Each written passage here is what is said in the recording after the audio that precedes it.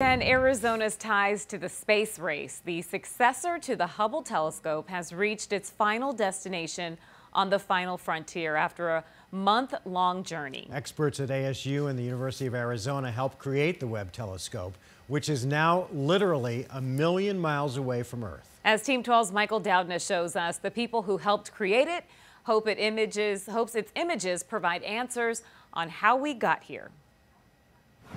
James Webb begins a voyage back to the birth of the universe. A million miles away. Four times the distance to the moon. The Webb telescope sits at the end of a mission 25 years in the making. I never dreamed I'd do anything like this.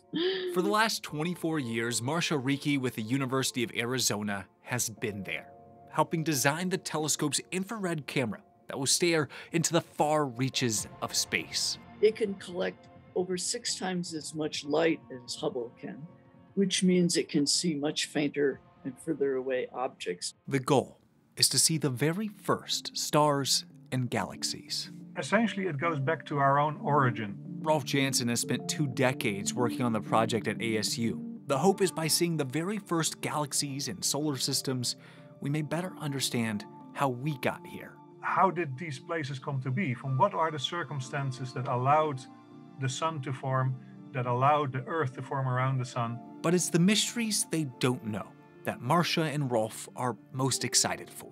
Uh, the most significant discoveries will not be the ones for which it was built. Maybe it will be something like a better understanding of black matter or energy. But the images this telescope produces will change the very perspective of our view in space for generations to come.